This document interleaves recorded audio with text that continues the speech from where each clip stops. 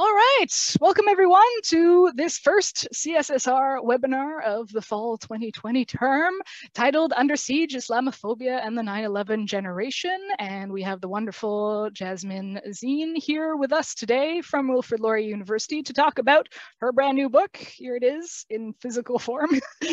and uh, yeah, I'm your chair, Sarah Wilkins-Laflamme from the University of Waterloo. And so how this webinar is gonna unfold for the next half hour or so so Jasmin's going to talk about her new book, um, and then we'll go on to Q&A. Uh, the chat is open at all times, so you're welcome to post questions or comments in the chat um, uh, throughout the presentation, and then I'll be monitoring the chat for questions, and then I'll kind of poke you during the Q&A if you have a question to ask, or you can also raise your virtual hand. Um, but while Jasmine is presenting for the first part of this webinar, I ask you that you remain muted uh, during the presentation uh, to cut down on background noise. And uh, I'd like to make the land acknowledgement that the University of Waterloo, where I'm based today, and Wilfrid Laurier University, where Jasmin uh, works, are both situated on the Haldimand Tract, land that was promised to the Haudenosaunee of the Six Nations of the Grand River, and is within the territory of the neutral Anishinaabe and Haudenosaunee peoples. Okay, so without further ado, Jasmin, the floor is yours. Thank you so much and welcome everyone today. Thank you for being here and I really appreciate Sarah organizing this forum and the CSSR for allowing me the opportunity to speak about my new book, um, Under Siege, Islamophobia and the 9-11 Generation. So I'll go through some slides and talk a bit about some of the highlights within the book and then look forward to uh, conversation after. So, um, you know, my, my book is uh, the tagline is looking at it as an ethnographic exploration of how the 9-11 generation of Canadian Muslim youth navigate Islamophobia during times of war and terror. Um, I'm often asked why I chose to do this research. And in the book's preface, I describe three drivers that motivated this study. the first was the experience of my sons growing up as part of the 9-11 generation and how that impacted them. And so, for example, my older son is named Osama, which was not an easy name to have after 9 11. And he was subject to uh, a lot of harassment uh, as a result of it. My younger son was an actor since he was uh, about 13 years old and found over time he was continually being asked to read for the role of terrorist number two. And so those were some among two small examples. There's many of sort of watching my own um, sons who are part of the 9-11 generation grow up and have to navigate that very fraught terrain. I also was struck in comparing the experiences that they were going through um, as they got, you know, older as well and we're in university and we're, we're part of the Muslim Student Association. And I was comparing this with my own experiences uh, as a Muslim uh, student, a part of a, an MSA or Muslim Student Association back in the late 80s and 90s. And how some of the community events that we organized back then would have set us up for surveillance by Canada's security agencies if we tried to have those events held in the current climate today. And then the third impetus for me was seeing one of my students um, want to join a nonviolent reactionary Islamist group because that group was using Islamophobia as a call for followers to, you know, to have them adhere to their very narrow worldview and this call for a return to a caliphate system. So those were the three drivers that prompted me to want to examine uh, the experiences of Muslim youth who were coming of age, uh, you know, during a time of war and terror. So we talk about the 9-11 generation and um, what group that refers to. Um, the 9-11 generation of Canadian Muslims has, uh, uh, have, as I've already noted, come of age under unique circumstances where their identities have become reconfigured as radicals, jihadists, and serving for a foil that made the Western imperial project seem intelligible, reasonable, and just. Other studies um, prior to mine also tried to examine some of these issues among this unique um, generation. So after surveying 120 Muslim students in university students in Toronto, um, Katie and McDonald uh, found that 94% of them agreed or strongly agreed with the statement, I see a change in the way others view me since 9-11. Uh, Sunaina Maira's research in the United States on American uh, Muslim youth in the post 9-11 context asserted that, quote, living with accommodating or resisting surveillance are part of the coming of age experiences of the 9-11 generation. And then a more recent study by uh, Abdel-Fattah in Australia, um, she looked at Australian youth and found that they, quote, felt the need to tame their Muslimness, to strategically erase and conceal their identities. So uh, adding to uh, these findings, I also wanted to examine some of these dynamics and processes that the 9-11 generation of Muslim youth were um, dealing with and, and trying to navigate. so it kind of took me back to this question that was posed by W.E.B. Du Bois back in the early 1900s when he said, how does it feel to be a problem? So he talked about this in The Souls of Black Folk, and he said, quote, it is a, a peculiar sensation, this double consciousness, this sense of always looking at oneself through the eyes of others, of measuring one's soul by the tape of a world that looks on in amused contempt and pity. so my research draws attention to the way the 9-11 generation is grappling with Du Bois' question and how they feel and react to being constructed as a problem in Canada. So as a bit of an overview of this um, study, it was uh, ethnographic research that I did was SSHRC funded, and it was a national study that involved in-depth fieldwork with Muslim youth across Canada. So I spoke with 130 youth, youth workers and religious and community leaders who self-identified as Muslim, and they comprised 23 uh, different ethno-racial groups. And the interviews took place from coast to coast, from New Brunswick, Ontario, Quebec, and BC. And they took place um, over a period of six years from 2009 to 2015. And then in 2016, I also went back to do some uh, member checks and collaborative theorizing with a subset of the participants. So some of the dominant themes that I want to um, uh, flag in the book um, deal with, first of all, looking at the affective registers of Islamophobia in terms of how it has impacted identity, citizenship, and belonging for the 9-11 generation, these sort of post-9-11 identities that uh, emerged.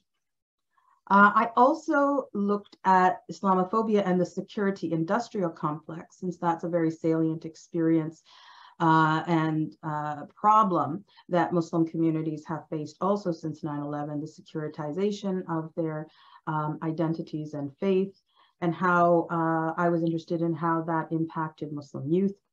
Uh, as well as what they thought about this idea of being uh, of radicalization and what um, being cast as the kind of contemporary folk devil or boogeyman meant um, for them. And finally, I didn't want to end this book um, you know, with the idea that Muslim youth were simply victims of these, uh, you know, political circumstances. Uh, rather, I wanted to examine their resistance. And so I was looking at this notion of what I call Muslim counterpublics and youth activism and resistance through the arts. So I hope to touch on all of these things as we go through the presentation today. But I'll start with the basics because there's often a lot of confusion around the term Islamophobia.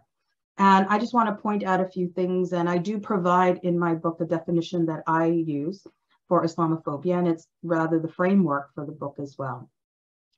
So first of all, it's important to understand that Islamophobia, unlike what the name itself might denote, is not an irrational fear or hatred of Islam. Rather, it is rooted in racial logic. So it simply isn't just about fear or hatred. There are deeper roots um, that we need to talk about. And it refers to demonizing Islam and Muslims, or anyone, of course, perceived to be Muslim, as we know that many people have been subject to Islamophobia who are not Muslim but are misperceived um, you know, Sikhs, for example, are a community that have also had to contend with that.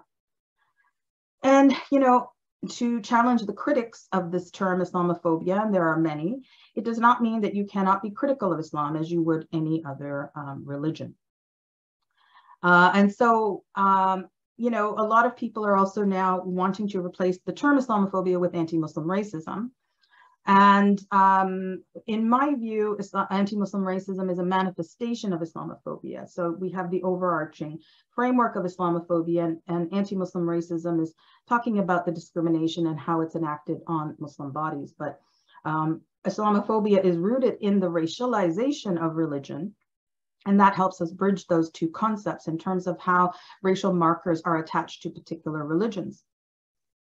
Um, but it also, when we talk about racism, you know, uh, Islamophobia, you could say also predates uh, racism, which emerged in the modern period. And it has a long history and genealogy rooted in colonialism and Orientalism, but also can go back to early Muslim communities that were persecuted for their beliefs. so Islamophobic, in my view, Islamophobic hate and bigotry are translated into individual actions and that's underwritten by negative ideologies and stereotypes that find expression in systemic practices, including laws and policies. And for me, understanding Islamophobia as a system of oppression and understanding those dynamics is really important in terms of um, how we can name it, uh, it, as well as address it, right? It, the, how we describe or define something will then impact how we intervene in attempting to dismantle it. So understanding those individual ideological and systemic dimensions of Islamophobia for me are um, critical. it's also important to recognize how Islamophobia is intersectional. Uh, it's lived differently according to the specific social identities of Muslims. And there are different um, gendered and racial registers through which Islamophobia is experienced. So we can talk about gendered Islamophobia or specific forms of discrimination that are leveled at Muslim women, that are rooted in colonial histories and negative Orientalist stereotypes. There's also anti-Arab racism, anti-brown racism, and anti-Black racism that intersect uh, with Islamophobia. Now, Islamophobia in Canada, as I think everyone here knows, has had very deadly consequences. We look at uh, January 29th, 2017, and the deadly shooting at a Quebec City mosque that um, uh, killed six Muslim men after their evening prayers. And then on June 6th um, of last year, in London, Ontario, when a Pakistani Canadian Muslim family were out for an evening stroll and were um, violently and brutally and dead, uh, mowed down by a truck driven by a white nationalist and four members representing three generations of that family um, were killed. And so Islamophobia in Canada has reached deadly proportions, and it's even more um, vital now to begin to understand it, its various manifestations, as well as its expressions and how it is affecting uh, Muslim communities. so just as a bit of illustration to talk about those dimensions of Islamophobia, uh, I just thought I would give uh, a little bit of a breakdown. When we talk about the individual acts, it's sort of like the tip of the iceberg, what we see when we talk about Islamophobia around issues of name calling, microaggressions, exclusion, physical and sexual harassment and violence, vandalism, hate crimes, and of course, the more deadly um, uh, expressions of Islamophobia um, that I just talked about in terms of the terrorist attacks. And we can see in the images here a swastika that was spray painted on a mosque in Edmonton. Um, reports about Black Muslim women being attacked um, uh, in Edmonton, and also um, the pig's head that was left at the door of uh, the Quebec uh, mosque where the shooting took place. This was left a year in advance with a um, sign that says Bon Appetit. And just another visual example of some vandalism and defacement of um, posters of a Muslim woman who was running for um, school trustee. So go, moving from those individual acts, there are also the ideologies that um, are important to understand as they underpin Islamophobia and, um, you know, are uh, justifying and rationalizing those particular kinds of practices. Uh, and there's many, many uh, um, discourses and conspiracy theories that I talk about as part of Islamophobia's playlist. Um, from the very kind of basic ones of Muslims are liberal, anti-democratic, and incompatible with Canadian values, to um, the ones about oppressed uh, Muslim women.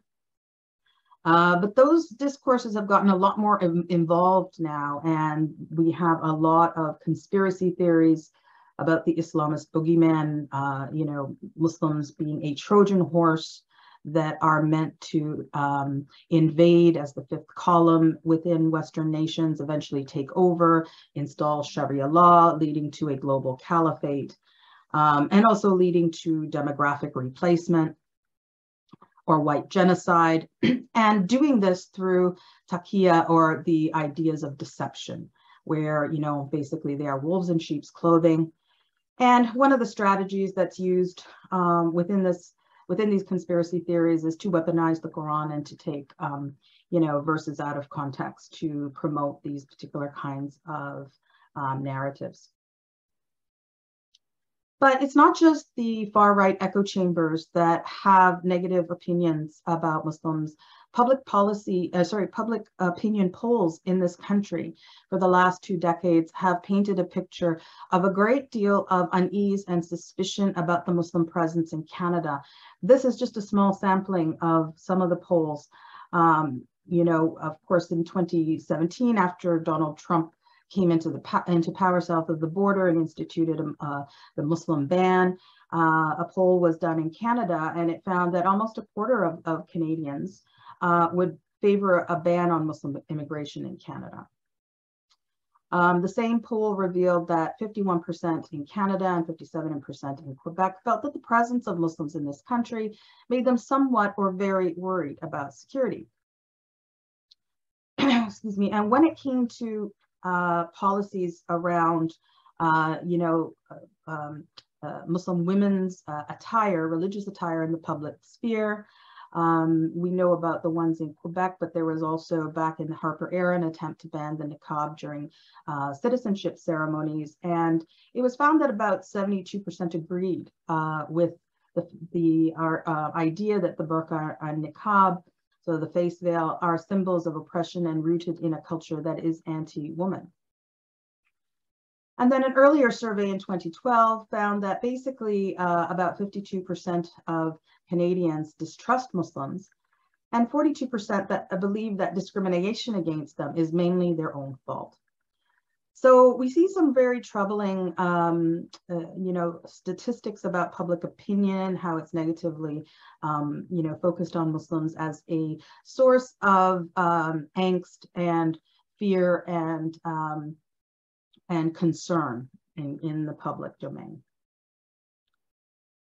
So a lot of those ideas and ideologies and attitudes find expression in um, policies in this country. And so those relate to the systemic factors of Islamophobia. And so, you know, we can talk about racial profiling in communities, borders, and schools, the fraught flying while Muslim, the no-fly list or passenger protect program, security policies um, like the Anti-Terrorism Act, security certificates, as well as the bans on religious attire in the public spheres. We know in Quebec, uh, Bill 21, um, the Barbaric Cultural Practices Act, uh, Quebec Charter of Values, as well as, you know, discrimination in employment, housing, healthcare, education, and social services. So those are all the ways in which um, the systemic um, forms of Islamophobia operate and sustain this dynamic of oppression.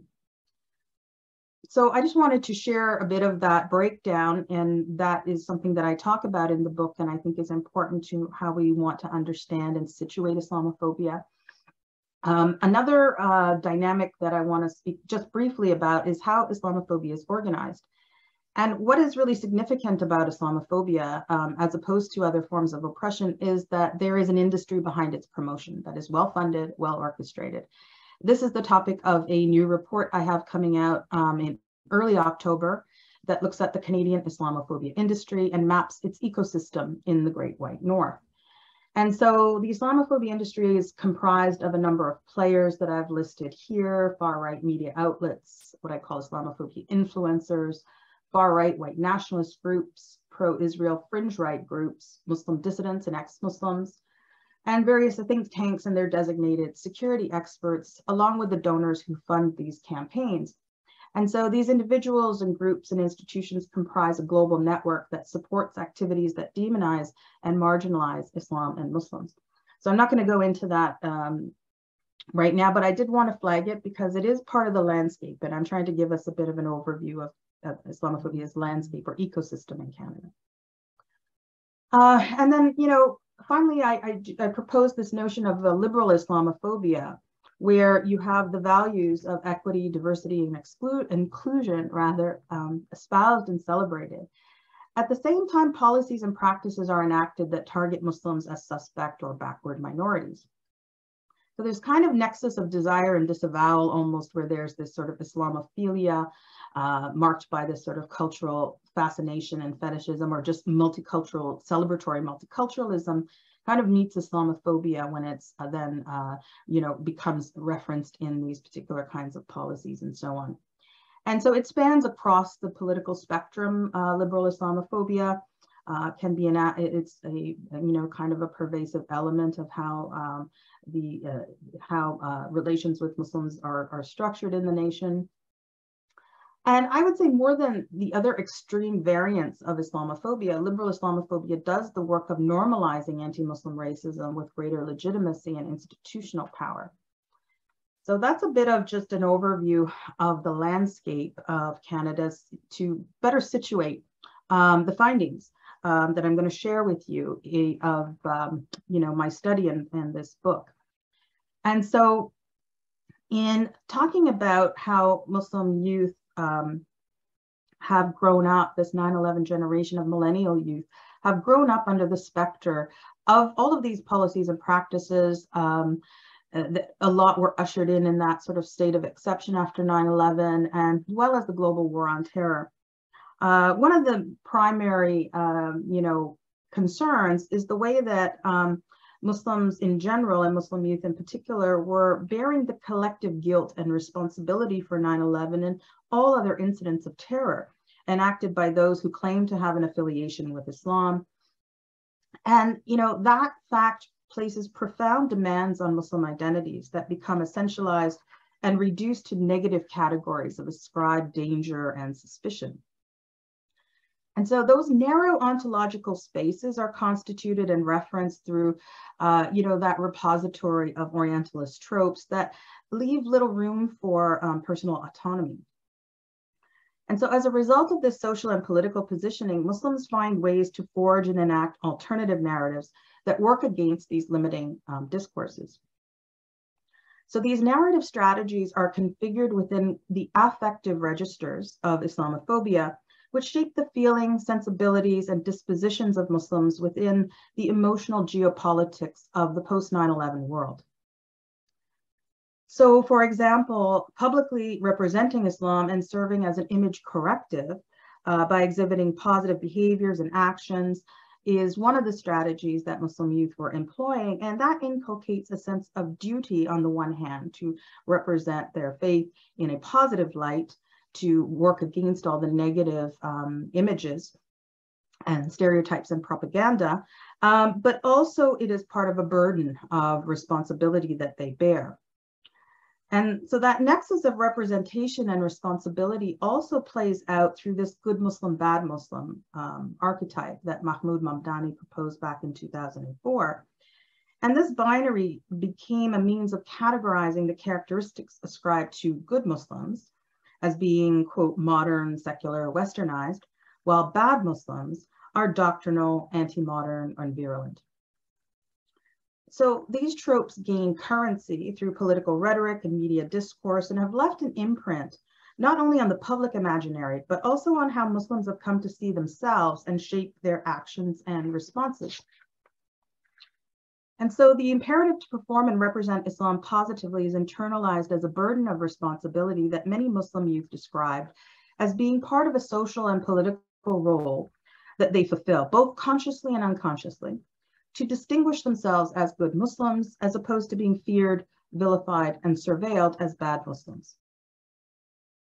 And so, you know, in looking at the impact on identities within this, you know, kind of fraught context, I found that Muslim youth were either becoming more invested in their identities or becoming estranged from those identities in response. So as Muslim youth are forced into being ambassadors and protectors of the image of Islam, uh, at the same point in their lives where they're trying to negotiate their identities and understand the faith for themselves, their identities are you know, being shaped by engaging with these Islamophobic tropes, either by resisting and challenging or distancing from them. So that was another dynamic that I uh, found. So all of this is also impacted by the securitization of the environment in which they, they were coming of age and which they continue to be part of. And I talk about this as a, a securitized habitus. And I'm drawing here on, on Pierre Bourdieu, who describes the notion of habitus as enacting in the being enacted in the way that, quote, social order is progressively inscribed in people's minds. So it's the way that individuals perceive and react to the social worlds they inhabit. And so I contend that the post 9-11 condition in the West created a specific securitized habitus where Muslims in society in large have become conditioned to this fraught environment and the ideologies and practices that are produced by it. So these dynamics are internalized and in turn um, produce specific behaviors, affective responses, and shared experiences of alienation. And so the kind of vigilance that is exercised within this uh, securitized habitus uh, manifests in making conscious or unconscious decisions to modify one's clothing, bodily comportment and behavior, such as smiling more to not be seen as threatening, or checking what you might be carrying with you when you're traveling, as you're getting on airplanes to avoid being seen as suspicious. And so all of that re results in a internalized Islamophobia and what I call this panopticon of self-surveillance. And so the surveillance practices that Muslims have endured since 9-11 has resulted in a panopticon effect where people become self-surveilling subjects, avoiding suspicion by second guessing and curtailing otherwise innocent actions for fear that they might be read as subversive. Um, and so I refer to the way that Muslim youth navigate the post 9 11 context as a panopticon of self surveillance, where they are internalizing the regulatory gaze that they are subject to and hence become self policing. So I'm going to go through, just give you uh, some slides here with some quotes from some of the participants in my study that exemplify these themes, uh, because I want to center their voices and experiences and to give you something more than uh, just my overview of those things. So um, this is from Robley, who is a Somali youth worker. Um, and he says that uh, since 9-11, the focus has been on the religion and Muslimness and what it means vis-a-vis -vis the press coverage, where the focus is on those who are extremists and use Islamic language to further their agenda. This has also become linked with regular Muslim youth. So Muslim youth now have to answer the questions of terrorism, extremism, and not fitting in because they are extreme. They don't all belong to these categories, but they have to deal with that now. So if you're a religious youth who attends the mosque regularly and who wants to have a religiously centered life, the assumption is that you're an extremist. And we know that being religious and being extremist are not the same thing. Every time somebody blows something blows up something in the world and they are Muslim, it is a reflection on their identity and that stereotypes and assumptions made against them. It could affect them in the workplace and in classrooms. And indeed it does. These kinds of meanings that are attached to Muslim bodies are something that um, does carry with them in uh, you know, every facet of their life. And the luxury of being seen as an individual is one that is not afforded to racialized communities who are often um, viewed as a collective. And um, so that is another experience of this sort of collective labeling. And so Sikandar, a Bengali student in Ontario, said that, you know, I guess the single biggest negative impact was that the mainstream majority now probably suspects every other young Muslim male with a basketball jersey or an engineering degree to be a potential truck bomber. And so he's picking up on his own experiences as someone who is actually in an engineering program and the way in which anyone, you know, bearing these degrees, especially if they're foreign, you know, international students coming, there's a perception that, you know, they might be trying to gain those skills in order to uh, plan some sort of a bomb attack or something. So um, that was one of the um, ways in which that labeling was discussed. And so, um, you know, Atika, a Bengali uh, international student in New Brunswick, put it this way. Because if you're Muslim, you're taking on the burden of the whole Muslim world. And so just in that one sentence, she represents the kind of sense of actually having to carry that representation with you, that whatever you do as a Muslim uh, is not you as an individual doing it, it is something that will reflect uh, potentially negatively upon your entire community globally, which is over one and a half billion people. But that narrow essentialization is quite um, salient. And actually, Zahir had a good um, analysis of this. And he said, if you're white, you're simply an individual and you're separate from the rest of society. Whereas if you're Muslim and you're linked, uh, you are linked to the whole community. Concerning Islamophobia, it's a daily thing. A lot of work needs to be done to have accurate reporting in the media and have Canadians at large understand that Muslims are not terrorists blowing each other up or wife beaters. So he had a very, you know, clear understanding of the fact that um, whatever he was going to do as a Muslim, uh, he didn't have the luxury of being seen as an individual. And that it would reflect on the entire community. Um, Sophia, Somali um, youth in Ontario, also spoke about this as a Muslim woman. Um, she said that when you're in public and you're wearing the hijab, you're extremely aware of every action you take. If you're in a bad mood and you're like scowling at everybody, right? Uh, you, you are Muslim. It's not just me having a bad day. I'm the Muslim girl. I don't just represent myself anymore.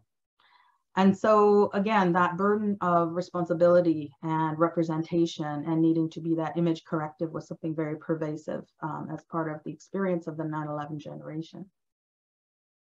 So yeah, more on the idea of this image corrective that they feel this responsibility to, you know, set the record straight and monitor their own behaviors. So Bushra says, you know, everything you do, you think of your religion first and how it impacts your religion like the way you act, you censor yourself so people don't see Islam uh, negatively. So you can see the sort of conscious choices and decisions that go into um, their everyday, um, you know, choices and interactions and behaviors. And Miguel, a Latin American student in Montreal, says we should always be at our best at everything we do and remember that as soon as we step out of our homes, we are Muslims. Your body language is really important. How you smile, walk, talk. Just to monitor yourself on a constant basis is very important we should always remember that we are responsible for the image of Islam. So you can see how many of them take on that responsibility and uh, moderate, um, uh, self-monitor their own behavior as a result. So this goes back to the idea of sort of an investment or estrangement from identity. And while some become much more invested in their identities in, as Muslims because they want to be that image corrective or they feel a responsibility um, to show, uh, you know, a different um, uh, representation of Islam. Others sometimes become estranged from it. And Mustafa, an African American imam, uh, spoke about what I noticed is that the challenges confronting the youth in the post 9 11 context have garnered two very opposite responses. On one hand, I found that many Muslim youth have gotten much closer to their practice of Islam and their identification as Muslims, while on the other hand, because of the frequent abuses they've suffered as a result of their identification as Muslims, Many have assimilated so much into the mainstream identity that it's hard to identify them as Muslims. So that becomes another strategy of distancing oneself from a socially devalued identity. And that can happen through changing your name, anglicizing it, you know, Muhammad becomes Mo, or, uh, you know, Osama becomes Sam, or you, um, you know, don't wear Islamic attire. You simply just don't identify um, because of the repercussions of doing so. And so, you know, those attitudes are not without, uh, you know, they're not just a sort of paranoia that these youth have. When we talk about securitization, um, the surveillance of Muslim youth uh, is something that is quite real and something we've seen on university campuses. um, MSA presidents and executive members have been approached by CSIS, RCMP, and counterterrorism units of local police. Um, specific MSA groups have been under surveillance by security agencies. Uh, a recording device was discovered at the prayer room at the uh, Metro Toronto, um, Toronto University, formerly Ryerson. And Muslim youth are being recruited into CSIS and RCMP as well. This hit home for me when my son, who was the president of his, elected as president of his MSA, the very next day uh, got a phone call from CSIS on his cell phone. And, you know, nobody even knew who had won the election, but already CSIS was calling him the next day in the morning at like, you know, 8 a.m. Uh, to talk to him as president of that Muslim Student Association. So I sat in on that meeting and I've sat in on other meetings where Muslim student uh, associations at my university were approached by counterterrorism um, units, um, RCMP, and so on. And that has become, uh, you know, something that has uh, added a great deal to this climate of surveillance and leading to the kind of self-surveillance that I was speaking about. So as Zubaydah says, I think that even when there isn't surveillance, we feel there is and we're scared, we're on edge. So even if people aren't watching us, we feel the need to be on the lookout and we have to be on our best behavior. So you can see how that Islamophobic surveillance again becomes internalized and part of that self-surveilling um, subjects that Muslims uh, have become. So, um, and I'm going to wrap up in about two minutes, but um, I also wanted to share uh, a little bit more about uh, the securitized habitus that I spoke about and the fact that it is referenced, it isn't just, you know, again, paranoia. And Rania, a student at a university in Ontario, says that, you know, there's like a designated counter-terrorist agent for the community. And they want to work with or have a good relationship with MSAs on our campus and on every campus. And I asked if this was only for Muslims, and he said, unfortunately, it is. In other words, he, they weren't interested in any other campus groups. Uh, and um, this targeting happens everywhere. In our university, we've had experiences with political movements, nothing huge, just suspicion. So securitization is a problem, but like, how do we figure out what is acceptable and what is not? It's difficult, it's disturbing. And so this points to, you know, how um, Muslim youth require a, a, certain political literacy to understand the, um, you know, what to do when CSIS comes knocking at your door, um, when CSIS calls you on your cell phone in the morning, and what your um, response uh, should be. And so um, that is something that all of a sudden they were quite um, having to confront in ways that they were not prepared for. And, you know, how could you be? And so Yusuf says here that it's not just how other people are going to see us, but how we see ourselves like how we internalize it. Even when we were planning the MSA retreat, we wanted to go in a forest and build a bonfire, but then we had to start thinking about that. And it's even kind of funny. We were joking that if somebody saw all of us vi visibly uh, Muslim folks showing up there, all kinds of suspicion would arise. So we internalize that fear. We have to monitor what we do so it doesn't come up as suspicious, even if it's not. So that's, uh, you know, example of that, those securitized habitus and those conditions that have now come to modify the behavior, dispositions, and, and attitudes of uh, Muslim youth who have to reside within these um, conditions. So finally, um, I'm going to end here with, you know, I'm not going to have time to get too much into this, but my final chapter of the book um, starts to look at Muslim youth counterpublics and arts-based resistance. Uh, again, because I wanted to end uh, the book in a way that uh, allows for Muslim youth to uh, be seen not as victims of circumstance, but as agentic subjects who are taking on um, different modalities of political resistance. And I was very interested in the arts and their role so through storytelling, um, for example, contemporary voices of Muslim youth are added to a large historical repository of resistant Muslim narratives, right? So there is a legacy that they can draw on. And Muslim youth are representing their lives and experiences in ways that subvert these sort of old colonial uh, and not so old colonial and imperial scripts. So I interviewed Muslim cultural producers. Um, uh, there were spoken word artists, uh, filmmakers, um, actors, uh, theater group called Conflict Relief, which was a uh, Israeli-Palestinian um, theater company uh, that tried to, you know, bring out some of the issues in that conflict using humor, but also then going out into the audience and talking to people and engaging conversations as a form of a uh, sort of an anti-colonial public pedagogy.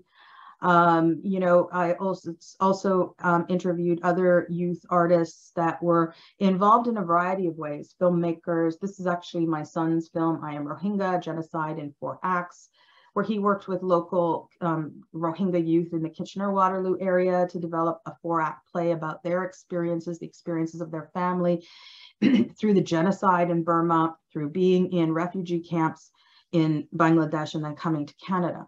And it's really important that those diverse stories of Muslim youth are heard and are, are known as also a project to reveal their resilience and their agency within, um, you know, the, the various kinds of oppression that they are facing.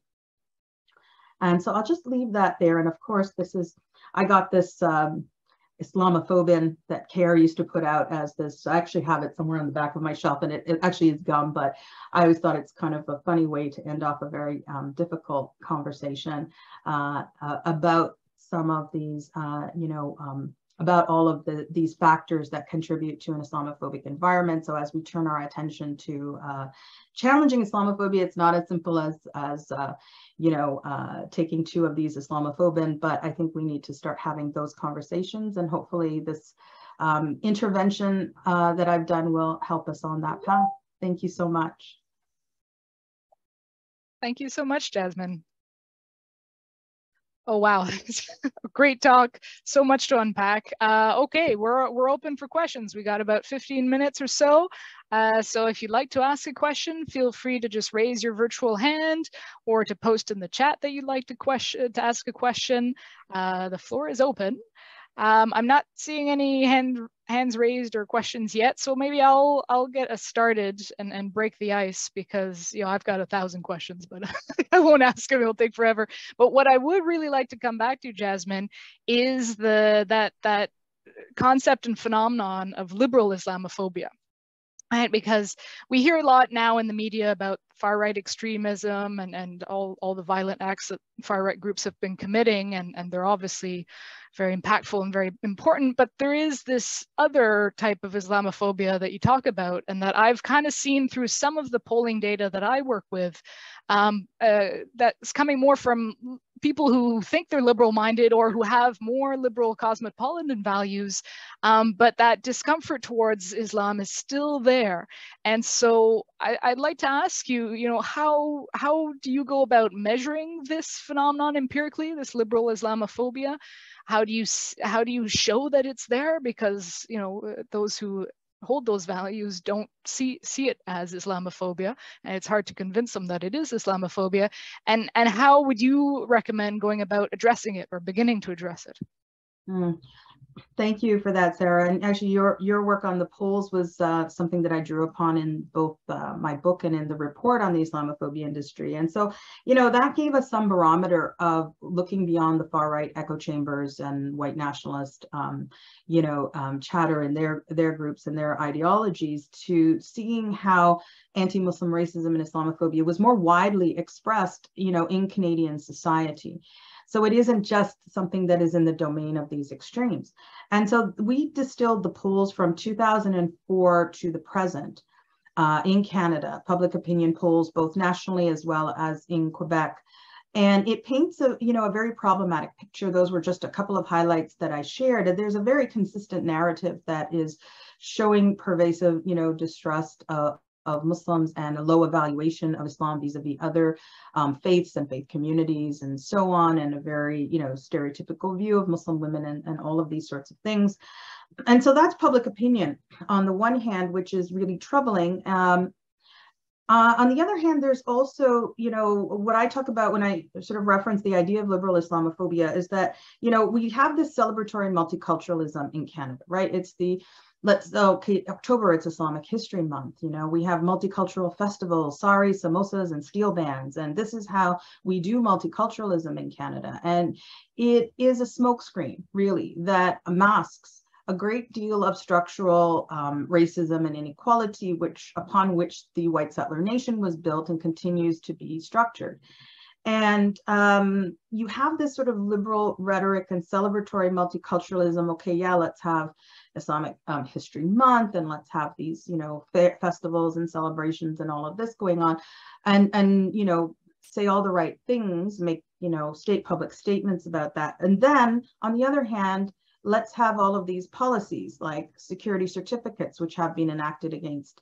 you know, uh, Muslims, five Muslim men have been held, you know, uh, indefinitely, um, subject to secret trials and secret evidence, right? The secret trial five, you've got, uh, and that's the security certificates. You have no fly lists with Muslim toddlers on there, on there.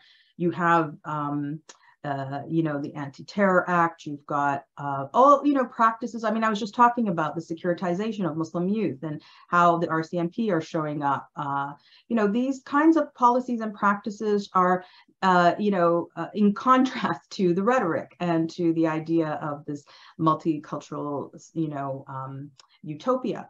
And so to me, it's that paradox, you know, where on the one hand, there's all of that sort of cultural fascination with Muslims, the celebration, sort of Islamophilia, and then the Islamophobia is right there in the background. So I see it that way. And uh, I don't know how you would actually go about, um, you know, kind of examining this empirically and that really wasn't my uh, intent i think you know we tried i tried to show uh, more broadly how you have those policies and practices in place and of course we you know what we see publicly as is the celebratory uh, nature and i do think that that is more impactful when it comes to normalizing Islamophobia than simply, you know, what rebel media is doing, right? Not that that's not significant and, and the whole networks around Islamophobia are quite significant, but, um, you know, they exist within this broader ecosystem of which liberal Islamophobia um, is also a part. Yeah. Okay, uh, I've, I've got some comments and, and questions in the chat. Uh, Lewis, would you like to ask your question? Would you like to, you're welcome to ask it yourself. Louis? Yeah, no, I'd rather you you read it and okay i'll read it. no worries. Okay so Louis asks uh, do you think that the events that happened in iran uh, where Mahsa amini was killed will affect or cause more islamophobia?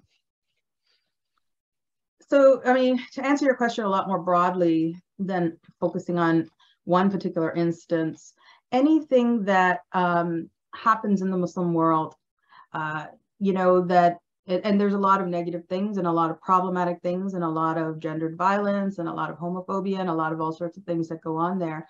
Um, those are number one, not only happening in the Muslim world. However, they will of course be used to fodder more Islamophobia, um, you know, and you know, I'm tempted to say in the West, but of course we can't talk about Islamophobia as just something that happens in the West now because we have to look at what's happening in China and in Burma and in India and in Palestine and everywhere else. But um, yes, the uh, particularly the Islamophobia industry type actors and others will, you know, dine out on all of those stories because they're only interested in presenting um, you know, this very, um, very narrow um, view of Muslims as being, uh, you know, um, violent, as being um, a threat to democracy, freedom, and um, all of the values that the West espouses and so on. So yes, it will be used. Thank you. Um, yeah. Hmm. Uh, Walter, you had kind of a comment, question. Would you like to share? Say it.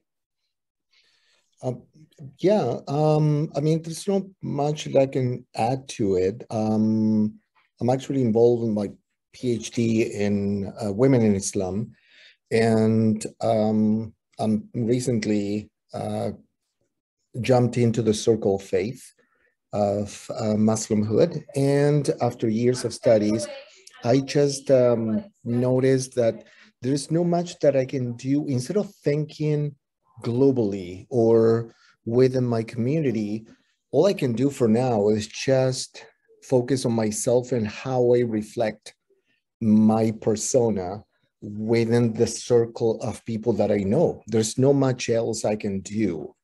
Um, however, um, yes, I can contribute with my, you know, research or papers or anything that I can write, post. But I think by giving um, an example of a good person and good Muslim will actually make up a great deal to change people's mind. Again, and going back to the original conundrum, there's not much I can do if the person in front of me does not want to think. I can't control anything about that. But I do find um, Dr. Zine's um, book very, very intriguing. So I'm looking forward to have it on my, my nightstand to read it back to back. Thank you so much, uh, Walter, and for your comments and observations. I think you're right. You know, um, when it comes to our, you know, the circles that we are within, you will be confronted, you know, with people that are, um, you know, maybe Islamophobic or have harbored some of those, you know, biases and so on simply because of what's out there and it's very easy to take on board uh, those particular kinds of biases. They tend to become dominant and hegemonic as we've seen. So what do you do as an individual who wants to challenge that? And you know you can't always um, you know win an argument. I'm actually not at all interested in in winning an argument of any kind. Mm-hmm. that's not what i'm uh, doing. Um, but as you say and as many of my participants said it really is about just showing people who they really are you know and so a lot of this image corrective and sort of that burden of responsibility is not disingenuous. It is showing people who we really are. They're not they may be more conscious of outwardly making sure that they you know do things like smile more give up their seat on the subway and you know things like that. But those aren't things that aren't part of islamic ethics to begin with right? Mm-hmm. um, so it is not uh, something that they're putting on. It is something that they just want to assert more as a counter and as a corrective. So you know as individuals i think you know uh, you know for muslims themselves first of all the burden of challenging islamophobia should not only be on the backs of, of muslims right? Agree. So, we do have to build broader solidarities and alliances and that's what's lacking uh, you know the lack of social movements galvanizing around islamophobia to me is a key issue um, mm-hmm. when we talk about other forms of racism like anti-black racism like anti-indigenous racism you know they have those communities have over the years and centuries of their own struggles come together to form social movements like Idle No More and Black Lives Matter. And, you know, they were able to bring those issues into public consciousness in really profound and important ways. That's not been done with Islamophobia, despite the fact that it is a global manifestation that ranges from genocide, ethnic cleansing, state repression to um, all of the other kinds of issues that I've been talking about, you know, here in Canada, including terrorist uh, attacks. So that is lacking. And so I think that that's where I would see more um, movement uh, you know, being need to uh, so uh, more momentum happening yeah. and something concerted. Because as I said, Islamophobia is organized. You know, my next report next month will show exactly in detail how it's organized. We also need to organize in order to combat it. Thank you. Thank you. Okay, Ekram had a question in the chat. Would you like to ask your question, Ekram? Yeah, sure. Thank you so much. Uh, thank you, Dr. Jasmin, for this uh, very beautiful presentation. Actually, I have a question about, uh, we have noticed lately, or it, maybe it had been for a while, uh, that there are many programs and uh, initiatives that's organized by um, non-profit organizations or community groups to tackle Islamophobia. Uh, for example, Together Against Islamophobia, uh, Islamophobia 101, and uh, other programs. Uh, do you think these programs have a positive impact in tackling Islamophobia, or do we need um, do we need to uh, work more as a community, as Muslim community, as as larger community to um, address this this issue, or raise awareness? Um, maybe we need a law. Maybe to I'm not sure if there is a law for uh, to criminalize Islamophobia, but um, yeah, thank you so much. Thank you. Yeah, those are all great initiatives, uh, you know, and I think they've benefited from some more recent funding that the federal government put out in the wake of the London terror attack. So I know some community organizations have been trying to do a lot of work. I know in KW, Coalition of Muslim Women has done great work. Um, and so, yes, it's important for grassroots organizations to be out there doing what they can with the limited resources that they have, because you know that pot of money is going to be gone after you know, people start to forget about whatever has happened in relation to Islamophobia in Canada. So they need the resources to continue that work. Um, but as I said, I think that we need to build solidarities and alliances and actually have a movement behind um, challenging Islamophobia. So everything counts, you know, from what Walter was saying in terms of those small acts of subversion, which is simply about showing who you really are to challenge all of those, um, you know, attitudes and biases and preconceptions that are out there, the long history of tropes and stereotypes that shape our encounters, uh, to what you're talking about and the role of community organizations in the grassroots doing what they can and to the responsibility of the government. Uh, obviously, there are you know laws of human rights policies and you know hate crime and uh, hate speech laws and so on. Um, but I think the real work is um, not just going. You know, the real change isn't going to just come through legislation. There also it's not just top down. It has to be bottom up. And there's a lot more I think that can be done to raise awareness about Islamophobia. But um, you know, we need to work and learn from the struggles of other communities in terms of how we can uh, mobilize. Okay, um, Aisha, sorry, thank you. Aisha has a question in the chat. Would you like to ask, or two questions? Would you like to ask your questions, Aisha? Okay, thank you so much. Well, thank you so much, Dr. Zine, uh, and uh, good, good evening, everyone. So um, uh, it, it, was a great learning opportunity. Thank you so much, for, Dr. Zine, for your you know inspiring work. Uh, when listening to your presentation, actually two questions came to my mind, and I wanted to share with you just in case um, you know it can provoke further uh, research or thinking around them. The first one was um, I was wondering how similarly or differently um, the international and versus domestic Muslim university students were navigating, um, you know, uh, the post 9/11 landscape here in Canada, mm-hmm. especially when they're working together uh, under their MSAs. Mm-hmm.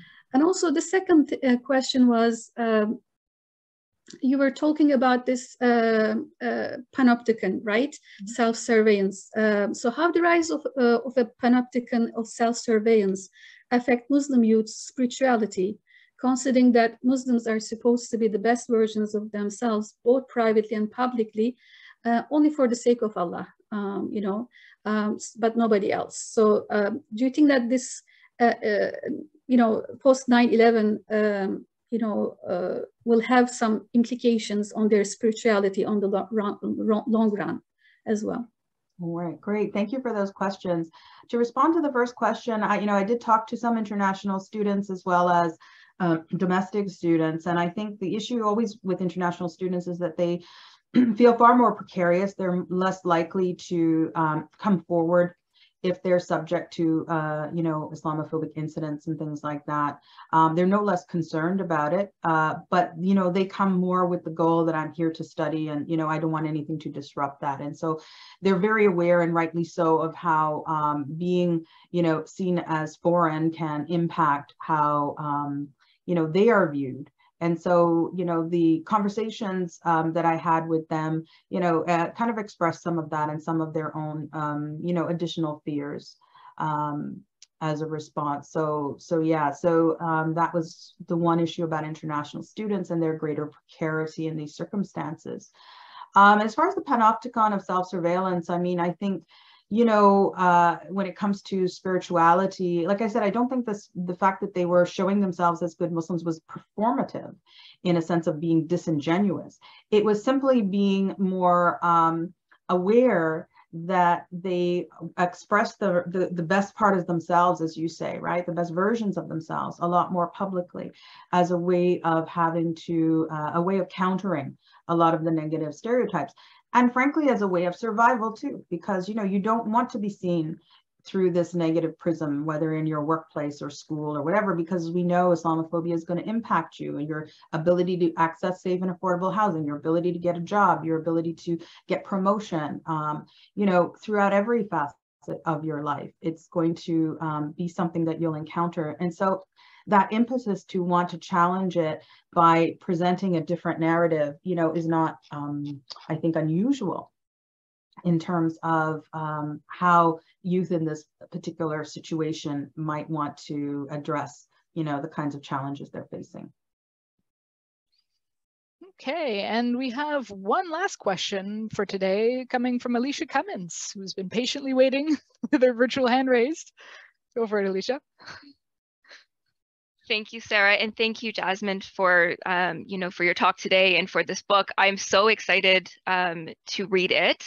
Mm-hmm. Um, I found a lot of similarities with what you were saying and how um, Muslims are constructing their identity in the context of Islamophobia um, and my own research on Ismaili Muslims and how they're constructing um, their Ismaili identity in the context of Islamophobia, but also takfirism. Um, so, you know, uh, informal, formal, um, you know, um, efforts to um, um, to nuance ideas about being Muslim.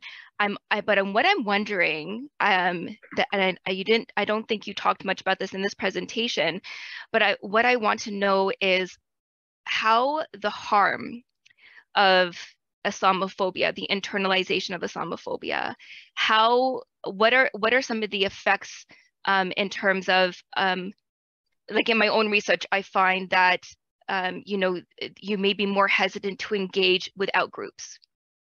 And so what are the long-term effects do you think um, um, Islamophobia is going Islamophobia is going to have on Muslim identity? Yeah, thank you um, for that question. Uh, you know, it's interesting because I was looking at the millennial generation of the 9-11 generation. So that group of youth that didn't know a whole lot about the world before, you know, they knew a little bit, but not that much. So uh, a lot of the times in their experience, you know, I would ask them, well, okay, how did 9-11 affect you? And they'd say things like, well, no, it didn't really affect me.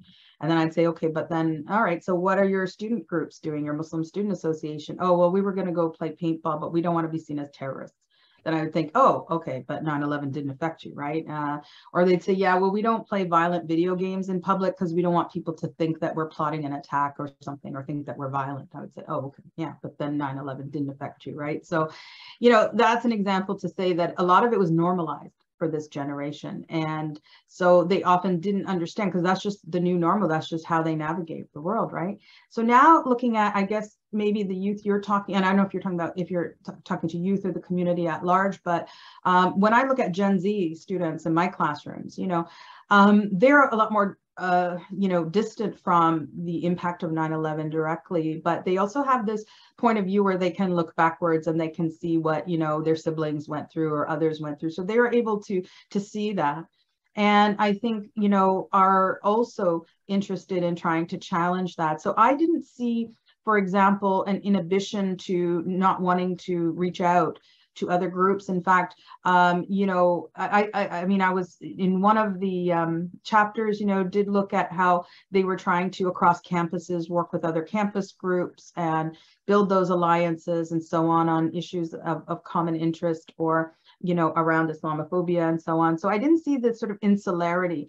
That insularity was uh, a lot more likely, you know, and, it does happen, right, where people are afraid. I mean, you know, when 9-11 happened, I was wearing hijab back then and I didn't leave my house for like a week or so you know um, so there are there are times where communities will retreat and become more insular but i think this generation um, uh, you know now the millennials are much older they're you know um, also being able to reflect on the situations that they've encountered. Gen Z are kind of looking backward and seeing what others have gone through and it's not like they're not experiencing things either. It's not like all of a sudden it's over you know islamophobia. They're also experiencing it. So i'm hearing a lot of the same stories uh, from gen z students in my classrooms uh, as i heard from you know those that i interviewed um, so you're right. I mean, becoming insular can be a byproduct of, you know, this particular kind of racism and, and uh, um, securitization and surveillance and being seen as, you know, what I talked about in the book uh, as the folk devil around which these moral panics become constructed. And so definitely internalizing that does, you know, take its toll. But as I, you know, and why I ended the book with resistance was because I wanted to focus on that, those spaces of resilience, those spaces of mobilization and, um, you know, ways that they assert their identity in, in um, very positive ways and, um, and in ways that are consciously, you know, trying to address and their experiences and, and um, create alternative narratives and therefore imagine alternative futures. And I think that's very hopeful.